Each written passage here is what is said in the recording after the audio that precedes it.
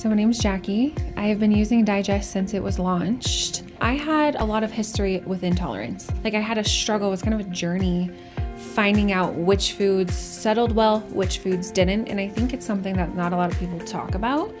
The insecurities and like the things that kind of weigh you down, like going out to a restaurant with my friends. And like, I think people don't really talk about that side of it like the background of thinking like well i don't want to get sick.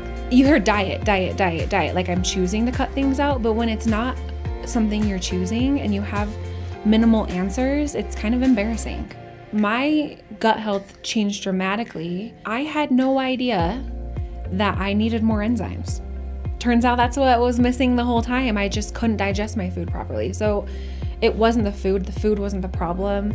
But when I started having these intolerances and noticing it, in hindsight, looking back, I'm like, oh, I've kind of felt sicky a lot of my life. Like the gut health maybe wasn't as good as it needed to be, but I thought it was normal. Like the liberating part was that I didn't have to think about if I would get sick because I just didn't.